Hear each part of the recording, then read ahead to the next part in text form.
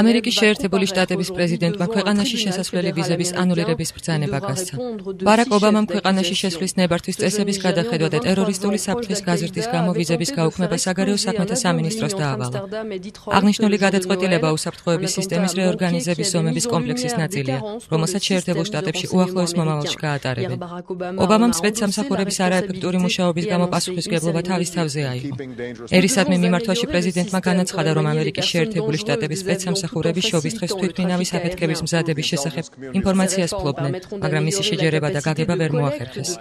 მომხდარი არ იყო ერთი ადამიანის შეცდომა, არამედ უსაფრთხოების ყველა სამსახურის სისტემური ჩავარდნა, განაცხადა ამერიკის პრეზიდენტმა.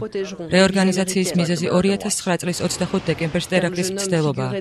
ნიგერიის მოქალაქე უმარ ფაროკ აბდულმუტალაბმა ამსტერდამი დეტროიტის რეისის ბორცე ასაფეთქებელი მოწყობილობის ამოქმედებას სცადა.